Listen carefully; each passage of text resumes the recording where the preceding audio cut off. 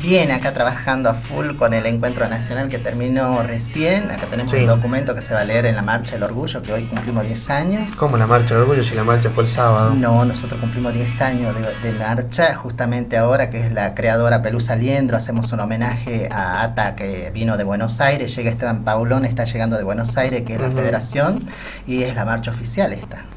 Pero no entiendo, ¿y la que fue el sábado? No sabría decirte qué es lo que es, se juntaron otras organizaciones. ¿Qué se han peleado? No, no, no, no nos peleamos. Eh, a ver, eh, GTS, o sea, Grupo Transparencia, viene llevando la marcha hace 10 años.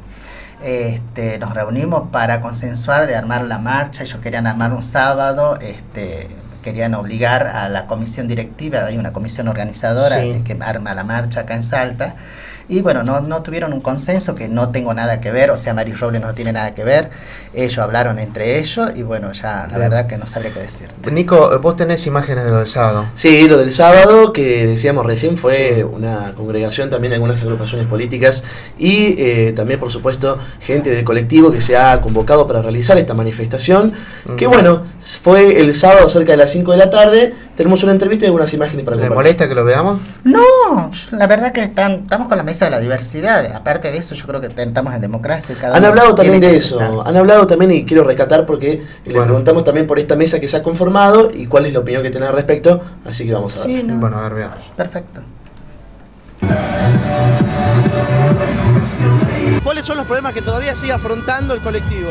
La inclusión laboral eh, para el colectivo en general y en particular para las personas trans, porque es el colectivo más, de, digamos, de más vulnerabilidad, digamos, me refiero a través de transexuales, transgéneros, porque han sido ellas y ellos el colectivo que históricamente ha sido ya despojado de, digamos, desde la casa, el acceso a sus derechos, ni hablar en las escuelas jamás tuvieron capacitación real, porque obviamente por la estima de la discriminación. Creemos que el Estado hoy está en perfectas condiciones para poder afrontar sin dudas políticas de inclusión. Para ello, el martes próximo va a ser la presentación del plan de ciudadanía LGBT en la provincia, donde se va a sacar el compromiso político en general para que avancemos sin dudas hacia políticas integrales, donde el colectivo LGBT esté presente junto al, Poder eh, Ejecutivo y al Estado de la provincia en el marco de una mesa de la diversidad que se viene funcionando hace cuatro meses. ¿En Salta todavía a nivel social continúa un poco la discriminación? Yo creo que hay grupos etarios con mayor aceptación, como es el grupo de las y jóvenes adolescentes, jóvenes adultos también, que empiezan a ver digamos que esto es tan natural como, o tan cotidiano, por así decirlo, digamos, en la, en la salteñidad, y creemos que lo vemos en distintos grupos que, que, participan o que, o que les interesa el tema, lo vemos en la universidad, lo vemos en, digamos, en varios subgrupos, por así decirlo, de la subalternidad que están eh, que se manifiestan, ¿no es cierto? Por algo se manifiestan, tal vez a un orden y todo ello, y creo que también ahí coordinamos agenda justamente porque es la misma, digamos, que es pensar una sociedad diversa, democrática, plural, creo como toda sociedad pensar en ese sentido. Lo último, ¿cómo viene funcionando en este tiempo esta mesa que han conformado en la que participa también gente del Ministerio de Derechos Humanos? Sin duda este es un logro importante y es la consecuencia de, un diálogo ya hace tiempo con el Ministerio. Hace cuatro meses ya se, aprobó el funcionamiento de esta mesa y este lugar este lugar más cercano que tenemos para hablar, interpelar a algunos, a algunos funcionarios y sobre todo diseñar desde ese lugar políticas públicas de inclusión. Insisto, el, el martes va a ser eh, el hecho político más importante del colectivo LGBT en el año y creemos que obviamente la mesa va a tener larga vida porque en, la medida que, las organizaciones sociales seamos los que estemos organizando una agenda eh, va, a tener larga vida seguramente va a, seguir generando mejores proyectos y más eh, iniciativas. Bueno, ahí está. Rodrigo Liendro de Aludis. Sí, estaba hablando. Bueno, ¿ello no tiene nada que ver con ustedes? Nosotras tenemos una agrupación que se llama Grupo Transparencia Salteña y estamos dentro de estamos dentro de la federación. La verdad que sí, estamos trabajando. Está llegando Esteban Paulón justamente a los 10 años que cumple nuestra marcha del orgullo. Está Marcela Romero justamente acá en el hall que vino al encuentro nacional de ATA acá en nuestra ciudad que se armó en el mercado artesanal sábado domingo, recién acaba de terminar. Y eh, ATA viene festejar los 20 años dentro de nuestra marcha del orgullo. ¿Pero ustedes van a hacer cuándo la marcha esa? Sí,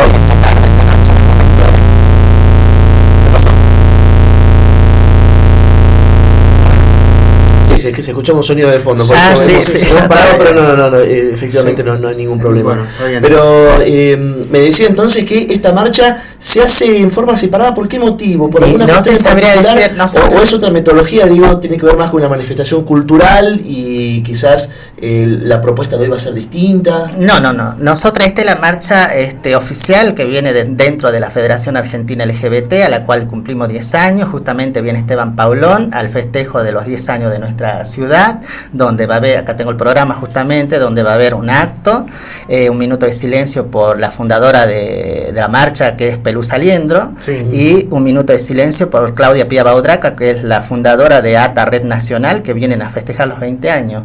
O sea que nosotras realmente tenemos una actividad en conjunto con el Ministerio de Derechos Humanos y este el gobierno de la provincia. No, no, se, pero se pelearon, no me diga que no. No sabría decirte qué les pasó. Pero si usted no sabe, ¿cómo no va a saber? Se a pelearon, ver, yo te voy a decir una cosa, a ver, yo te voy a decir una cosa. Esto es algo institucional. Sí. es un problema de instituciones a la cual Grupo Transparencia es el que maneja todo esto, lo que es la marcha que viene de hace años. Con, atrás. yo después le pregunto, porque con lo que cuesta que ustedes se organicen, salgan, con, con lo que costó en Salta darle visibilidad a esto y demás, ahora que encima se peleen entre, ustedes, se dividen en dos, A ver, yo te voy a decir una cosa, yo no puedo eh, pensar por las otras organizaciones, cada uno sabe lo que hace y lo que dice. Yo no, a ver, yo jamás me peleé con nadie, yo no represento a lo que es el Grupo Transparencia Salteña, yo soy la coordinadora de ATA acá en Salta. Y hay una presidenta que justamente hoy va a dar un discurso dentro de lo que es la Marcha al Orgullo, que es la presidenta del Grupo Transparencia, hay una comisión organizadora que está organizando lo que es la marcha de hoy día. Y bueno, si no hubo un consenso con las organizaciones, eso ya no, no, no entra en mis, en mis manos, no, tiene, no tengo nada que ver yo realmente. bueno, pero igual piden lo mismo. Exactamente, estamos trabajando en lo mismo, no sé, con- no, no sé cuál es la división, la verdad que eh, en ese momento yo estuve en el medio de esa conversación, pero este, yo estaba desde un punto de vista como veedora, sobre la cual todo el mundo piensa en que Maris Robles es la que maneja lo que es la marcha, lo que es todo lo que, está, lo que se está trabajando, y hay una comisión que viene trabajando desde años Sí. atrás, hay una personería jurídica y hay un grupo Transparencia que es el que coordina y maneja la marcha del orgullo oficial y está dentro de la Federación Argentina LGBT, así que yo no puedo hablar Claro. por, por, por ¿Qué es. LGBT? Es lesbiana, gay, bisexuales y trans. Bien. Estuve escuchando un candidato, dice que van a trabajar en una zona roja.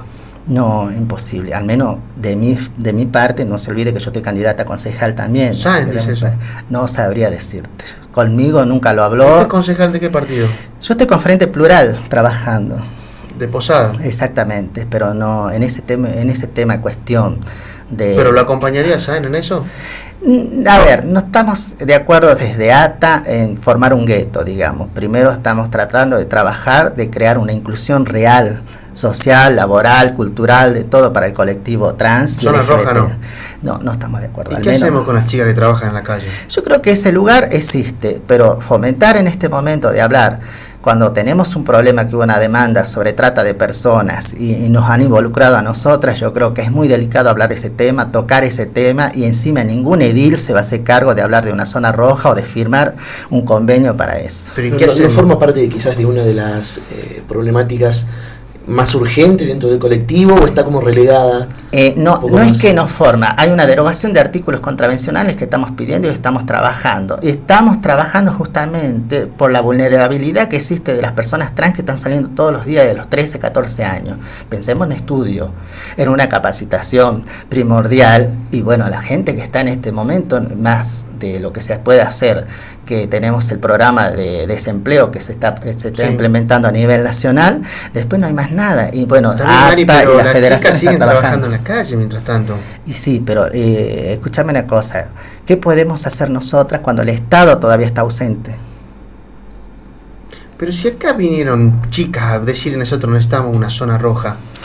Una cosa es pedir una zona roja por la gente que quiera trabajar, eso es ace- aceptable. Ahora, el Estado tendría que buscar fuentes laborales y fuentes de estudios para la comunidad. Y después de eso, de eso, de fomentar una zona roja, bueno, nosotros desde ATA no trabajamos en eso. ¿Sabes? Pues le pregunto porque los vecinos también están cansados. ¿Sabe dónde se están trabajando ahora? En la subería arriba. Es que, a ver, hay tres zonas rojas en Salta y ¿Cuáles nadie son? se va a hacer cargo. Una tenemos en la tabela, tenemos la otra en la Hernando en- Lerma. Hernando de Lerma y la otra en la subiría donde está planteando usted, y eso lo sabemos. Y si hablamos de una zona roja, tenemos que armar varias zonas rojas en la misma ciudad. ¿Y ¿Cómo quién se va a hacer cargo? ¿Cómo van a varias Y porque seguro que van a, eh, pero seguro ¿Cómo que van a varias? querer, van a tener que agarrar y legalizar el resto de las zonas también, porque si, No, a ver, donde hay demanda, donde hay demanda, eh, a ver, hay hay trabajo, o sea que alguno debe estar buscando a las chicas ahí en ese lugar, no es culpa nuestra tampoco. Mm, Desde ATA están eh, en contra de la creación de una, sola ro- de, de una zona roja en el sentido de que sería una forma de justificar o naturalizar este trabajo en la calle que sabemos está hoy por hoy en condiciones que no son las óptimas por supuesto o por una cuestión de cómo se plantea la zona roja. Mira, yo creo que ya deberíamos dejar de hablar de zona roja primero. Hablemos de la salud, hablemos de que haya algo realmente que nos incluya. Hasta ahora yo he visto que son palabras y no se hizo nada. Y hablar de decir hacer una zona roja porque las chicas la necesitan, por- porque esto realmente es hacer apología y seguir peleando entre Pero nosotros. Mario, usted es parte del gobierno, directa o indirectamente. Sí, perfectamente. Yo soy parte del gobierno, pero yo, a ver, jamás yo defiendo los derechos humanos y gracias a la lucha que llevo adelante acá se ha protegido, se ha salvado y se ha sacado a las chicas de, de todo el maltrato que hemos tenido. Y yo creo que el avance y la mesa de la diversidad ha sido propuesta del proyecto mío. Así que en este momento, si nosotras estamos integradas dentro de la mesa, estamos trabajando justamente para hacer la apertura social y cultural dentro de nuestra comunidad salteña, es justamente que la proposición que hacemos nosotras, y nosotras deme hacemos la un- demanda. eh, A ver, si, si usted fuese gobernadora, mira lo que le estoy diciendo, ¿qué, ¿qué sería lo primero que haría en función de la comunidad LGBT en Salta? ¿Qué haría? Algo pero concreto. No, algo como concreto, Sí. por ejemplo, primero ver que la- las políticas públicas de Estado funcionen correctamente, porque tenemos chicas que son No, capacitadas. no, pero, a ver, tienen- pero deme un caso, algo concreto. Es decir, yo lo primero que haría es esto, en lo concreto.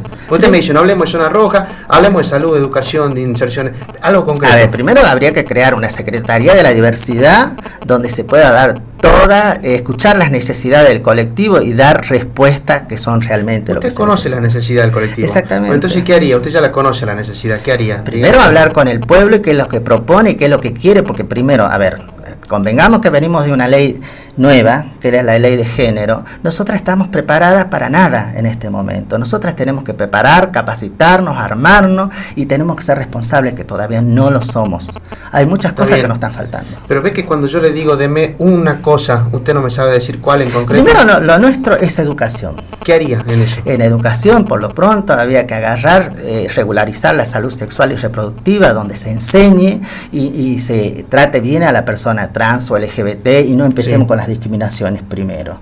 Y empezar a, educa- a educar y eh, eh, cuidar la seguridad de esta persona que termine y puede ejercer el día de mañana. Eso sería lo primero, lo Ujú. primordial. El tema salud para usted es importante. Es importante la salud porque no tan solo hay personas trans ni salud, este, que hablamos de la salud integral del artículo 11, sino hay un montón de cosas que hay para hablar, como proctología para una persona gay, como, como este, Papa Nicolau para una persona lesbiana, o sea, tenemos Sí, sí. una falencia integral muy grande. Ahora, yendo a lo concreto, ¿no? Con respecto al tema de, de las chicas que trabajan en la calle, derogar, por ejemplo, el código de contravenciones podría ser un principio de solución. se podría ser un principio de solución, pero también habría que ver, este, eh, habría que ver, a ver, hubo una demanda este año de Hernando de Lerma en el municipio, este, a la cual no le dieron respuesta, llegó a Buenos Aires, me habla, me llamaron de allá a ver qué es lo que había, la cuestión que nadie hizo nada, tuvimos una reunión con los vecinos y hablamos y, y lo que te estoy diciendo yo se lo dije a los vecinos, esto va a llegar a ningún acuerdo, o sea que los, los ediles, como te dije recién, ninguno Nadie se va a comprometer. Exactamente. Entonces ninguno se va a comprometer y yo en ese momento todavía no estaba dentro del gobierno Claro. y realmente eh, eh, decía que estas cosas iban a pasar y pasaron y hoy en día la, la gente sigue en lo mismo, nos siguen persiguiendo, nos siguen castigando. Pero ¿Y entonces qué hay que ir a la zona roja. Si usted dice que le A ver, persiguiendo... yo te voy a decir cuál es el tema de la zona roja, porque primero hay que reglamentarla. ¿Quién va a reglamentar una zona roja donde hay que, va a haber que pagar impuestos, va a haber que poner este, tacho de residuos, baños químicos, este, va a haber que hacer, mantener una limpieza y cuidar el decoro y las buenas costumbres, como dice todo, todo el mundo. Sí. Ahora, después de eso, eh, con todos los robos que hay y que existen, está la seguridad, las chicas le están pegando, la misma gente está Entonces, robando y asaltando. que usted está- dice que sigamos es un- como está. Es una problemática que hay que tener mucho cuidado para hablar. No es que digo que, que sigamos como estamos. Hay que ver, porque nosotras desde ATA estamos viendo la seguridad de las personas que están trabajando en la calle, te están robando, el mismo cliente te está matando, las ramean a las chicas, les pegan de todo eso. O sea que antes Sí, sí. primero nos cuidábamos de la policía, hoy en día nos cuidamos del cliente. Está bien, pero entonces me quedo con nada. Sí, usted dice, no hagamos la zona roja porque es muy complicado. Sigamos como está, pero si- como está eh, es un doble problema, porque las chicas le pegan los policías, le pegan los clientes y encima los vecinos que... Yo creo que, eh, a ver, yo creo que este, habría que sentarse con los nuevos ediles en estas nuevas elecciones y empezar a hablar seriamente. Nadie lo hizo hasta ahora y a ver qué es lo que proponemos, porque yo puedo decir zona roja y él puede decir no o pueden decir los demás en contra de mi persona. Entonces no es eh, fomentar ni nada por el estilo, es llegar a sentarse y consensuar a ver qué hacemos todo en conjunto, no que lo haga una sola persona, porque una sola persona es nada a la par de cuántos ediles existen. Está bien. Bueno, Por lo pronto, no apoyaría por lo menos esa medida, aun si fuera lo que dice. si hay un proyecto Sí. real, no lo apoyo. Eh, depende si está bien consensuado, porque no se olvide que al municipio no le conviene si no tiene un, un costo de impuesto tampoco. Mm. Tenemos que ver ¿Un eso también. Exactamente, porque de por ejemplo, cuando vos vas, pasás un tendido de calle, por ejemplo, o, o- o de gas, de luz, de lo que fuera, el gobierno lo cobra. Ahora, una trabajadora sexual, le abrís una zona roja, ¿qué costo puede tener? Pero usted dice que cobrar el impuesto al trabajo Estoy sexual. con- le estoy con- no, no es que cobrar impuestos. Desde Amarse estás trabajando justamente para legalizar lo que es el trabajo sexual y hay proyectos y todo a nivel nacional donde se están contemplando muchas cosas como aporte jubilatorio y, a- y pagar una cuota como para que este sea algo legal. Pero bueno, es una discusión que está a nivel nacional, no es provincial. Bueno. Mari, ¿hoy a qué hora es la marcha? A las 20 horas em, comienza la marcha como todos los años. Eh, a las 18 horas comienza el show espectáculo en la Plaza 9 de Julio. Y bueno, están invitadas todas las organizaciones que, que marcharon el sábado, incluso se les ha mandado una invitación, o sea que no es que nosotros estamos peleadas Sí, bueno, y no es que hubo nada, pero bueno, si ellos lo consideraron así, yo quiero que vos los veas, que es cierto, están todas las Sí. organizaciones invitadas. Sí, que incluso las que han participado en la marcha. Exactamente, o Bien. sea que no, no hubo una pelea real. ¿Y no qué van a hacer? ¿Van a marchar por dónde?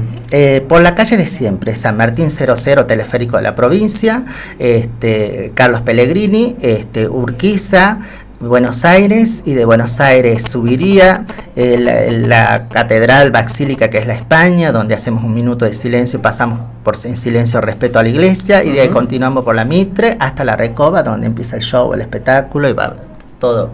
Acá están todas las personas que van a disertar, o sea que han sido invitadas, se les ha invitado la nota, pero bueno, no te puedo decir qué es lo que pasó en medio del camino, porque esto ustedes están viendo que esto es el programa de hoy y realmente no, no puedo hablar mal ni, ni nada, no sé, no sé qué pasa. Gracias, Mari, por haber venido. ¿eh? No, muchas gracias a vos y gracias a vos también, pero bueno, la verdad que una hace lo que se puede y estamos trabajando realmente por la inclusión y por la inserción real. Seguro. Bueno, Mari Robles pasaba en feedback.